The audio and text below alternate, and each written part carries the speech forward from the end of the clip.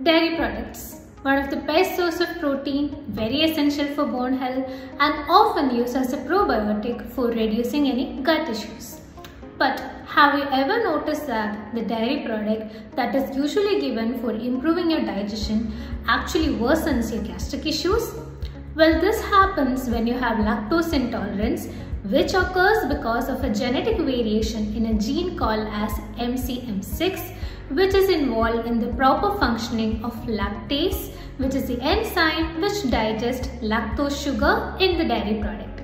So when you have this genetic variation, you are at risk of having lactose intolerant and you will have allergic reaction towards dairy products.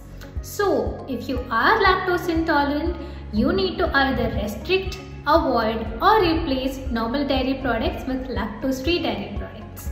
So by doing a genetic predisposition testing, you can know your risk of developing lactose intolerant and accordingly take the proactive measures.